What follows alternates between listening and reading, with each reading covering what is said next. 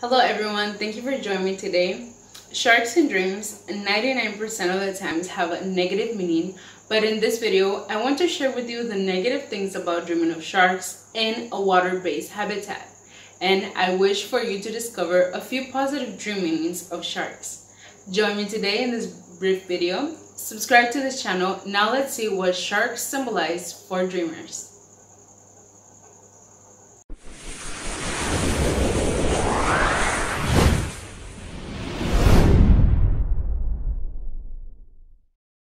Sharks in water. If it was clean water that you dream about, this means that you are considering better manners and behaviors to engage with others.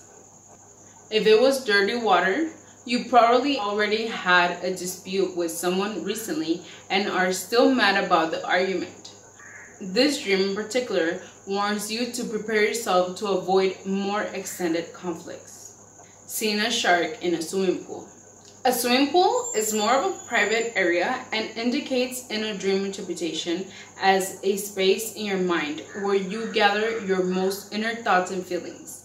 If the shark was being aggressive, it can predict bad health for you.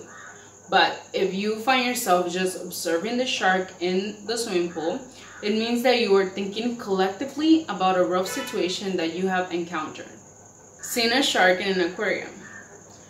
Seeing the shark swimming in an aquarium directs to the sexual attraction and desire that you have for that special someone. Sometimes, in some cases, is reversible. Sometimes another person can be attracted to you and you might not even notice. But subconsciously, you have been noticing. But this dream targets an attraction between you and another mate. It's a symbol of contemplating the other person in your waking life. Sharks in the ocean. Have you been exposed to a situation in which you feel that you have no way out? Seeing a shark in the ocean signifies your peace being broken. The things that once used to make you happy are not there anymore. You need to look into what situations are making you very unhappy such as plans that didn't went through or didn't went as you expected, arguments or certain conflicts, issues that you have with your loved one, and or that you're feeling anguish for uncertain things. Seeing many sharks in the ocean. This dream definitely targets an extreme fear that you presently have going on in your life. Seeing various sharks swimming in the ocean in your dreams means that you feel that someone else is going to hurt you, is going to harm you in some way. It doesn't have to be physically, it could be mentally, emotionally. River. To see a shark or various sharks in the river, it predicts an unfortunate event that will occur soon. It is a great thing that you know the interpretation for this dream so whenever you do experience such event, being emotionally prepared will be the best thing that you can do to combat the rough times. Sharks in a clear water lake.